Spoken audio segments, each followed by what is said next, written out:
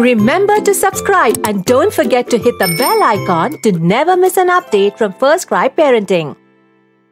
Foods kids can enjoy eating in rainy season. Some of the best foods that you can feed your children and boost their immunity during monsoon are 1. Garlic. Garlic contains antioxidants that help boost immunity and regulate the body's metabolism.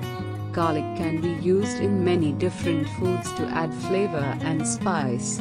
Adding it to chutney is one way to include garlic into your child's diet. 2. Turmeric. Turmeric, an immunity boosting spice, has a very powerful component called curcumin that makes it such a good antioxidant. You can give your child turmeric tea or turmeric milk before bed, and improve the chances of fighting off any infections that affect their immune system. 3. Karela, bitter gourd. Karela is high in antibacterial, antifungal, anti-inflammatory, and antiviral qualities, therefore, extremely beneficial for your child's health. 4. Seasonal fruits Fruits that come in the rainy season are packed with antioxidants and will help children in fighting off any illness.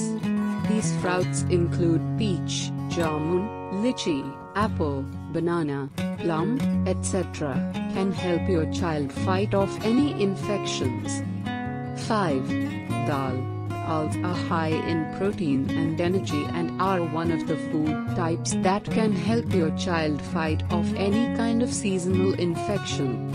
If your child is down with the flu, feed them some dal soup, as it will help them recover faster. 6.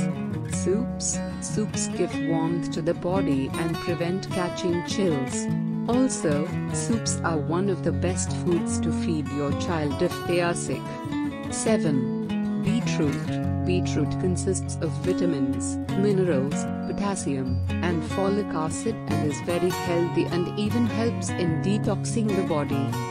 8. Tofu Tofu is rich in calcium, iron, and essential amino acids.